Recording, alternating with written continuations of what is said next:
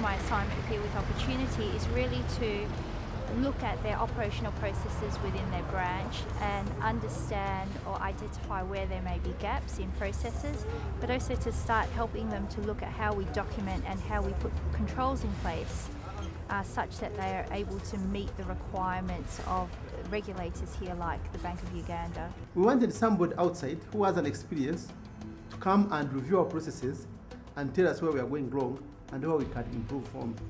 She's re- she really digs deep and say why can we have a better way of doing things and uh, a lot of, of uh, new processes have been introduced we have actually now uh, made our process much better much shorter much clearer Looking at how to become better, you know, how do I improve my quality? How do I reduce my costs?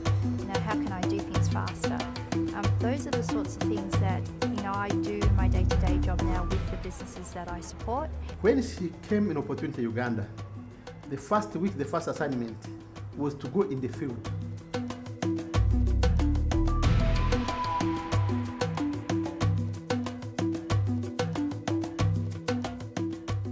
You meet people like Brenda, like Margaret, and, and what you, you come here and you say is, I really want to be part of something that helps them, you know, have that little bit more, um, make themselves a little bit more self-sufficient and have some more for their family as well.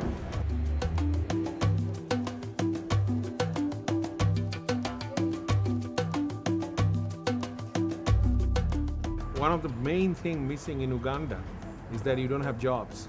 There are hardly any employment, so people are trying to do little, you know, little trade jobs and things like that. And that's what microfinance helped. So my mandate is basically to mobilize the people here and leave something for them that they can build on.